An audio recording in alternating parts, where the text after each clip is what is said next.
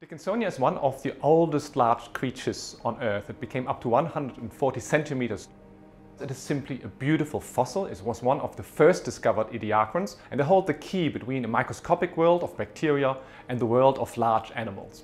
The real nature of these ediacarans is the holy grail of paleontology. For 75 years people have tried to figure out what these creatures actually were and there were huge diversity of opinions. There could have been lichen, there could have been giant single-celled creatures, or there could have been animals in our earliest ancestors. And because they tell us something about our own origin, it is very important simply to know finally what they were. So Ilya discovered these organically preserved ediacarans and had the totally crazy idea to look for molecules in them to find out what they finally actually are. The problem with getting those fossils that they're located quite high in the cliff of the White Sea, in the middle of nowhere, surrounded by bears and clouds of mosquitoes.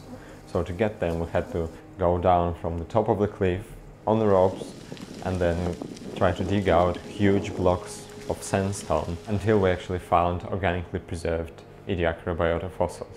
Looking at molecules in these ancient organisms is a game changer.